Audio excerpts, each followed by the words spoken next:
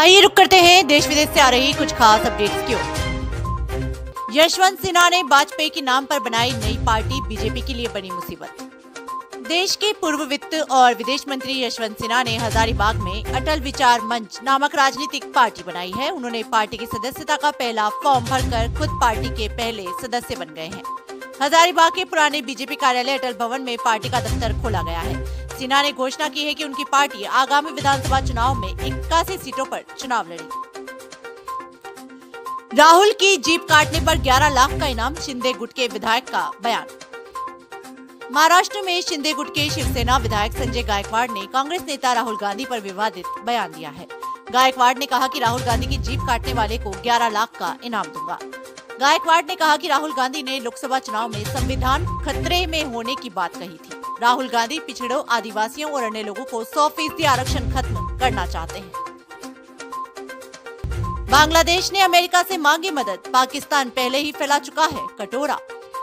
शेख हसीना के सत्ता से बेदखल होने के बाद से बांग्लादेश की आर्थिक हालत खस्ता हो चुकी है। इस बीच अमेरिका ने बांग्लादेश को 20 करोड़ डॉलर की मदद देने का ऐलान किया है। ये पैसा विकास परियोजनाओं, स्वास्थ्य सेवाओं और कारोबारी अवसरों को बढ़ाने में इस्तेमाल किया जाएगा। दूसरी ओर पाकिस्तान आईएमएफ से सात अरब डॉलर के कर्ज के लिए गिड़गिड़ा रहा है, लेकिन आईएमएफ कड़ी शर्तें लगा रहा है। हरियाणा चुनाव 2024 सर्वे और सट्टा बाज़ार के चौंकाने वाले अनुमान। हरियाणा में 2024 के चुनाव में बीजेपी को बड़ा झटका लग सकता है। एक्सपर्ट्स सर्वे कांग्रेस को 55 से ज़्यादा सीटें जीतते हुए दिखा रहे हैं। सट्टा बाज़ार भी कांग्रेस की जीत का अनुमान लगा रहा है। न्यूज़ तक के विजय विद्रोही का कहना है कि हरियाणा में बदलाव की हवा चल रही है। सुनीता केजरीवाल कैसे बन सकती हैं दिल्ली की मुख्यमंत्री? जान लीजिए नियम।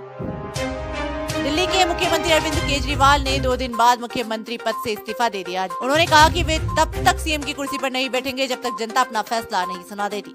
सीएम पद की रेस में आतिशी सौरभ भारद्वाज और सुनीता केजरीवाल है। सुनीता केजरीवाल सदन की मेंबर नहीं है, लेकिन नियम के अनुसार सीएम पद की शपथ लेने के छह महीने के अंदर सदन की सदस्यता लेनी होती है। राजस्थान में डोटा सरा बने किरोड़ी के साड़ू बोले भजन लाल सरकार गिराएँगे। राजस्थान प्रदेश कांग्रेस कमेटी के अध्यक्ष गोविंद सिंह डोटासरा ने रविवार को श्री डूंगरबगढ़ में कहा कि किरोड़ी लाल अब उनके साडू भाई बन गए हैं। दोनों मिलकर राजस्थान की भजन लाल सरकार का तख्ता पलट करना चाहते हैं। गहलोत राज्य को कांग्रेस भाजपा ने फिर क्यों सौंपी? बड़ी ज़िम्मेदारी, समझे सियासी मायने। राजस्थान के दो दिग्गज नेता अशोक गहलोत और वसुंधरा राजे को हरियाणा इलेक्शन से पहले बड़ी ज़िम्मेदारी मिली है। कांग्रेस ने अशोक गहलोत को हरियाणा प्रदेश का वरिष्ठ ऑब्जर्वर बनाया है जबकि बीजेपी ने वसुंधरा राजे को स्टार प्रचारक बनाया है।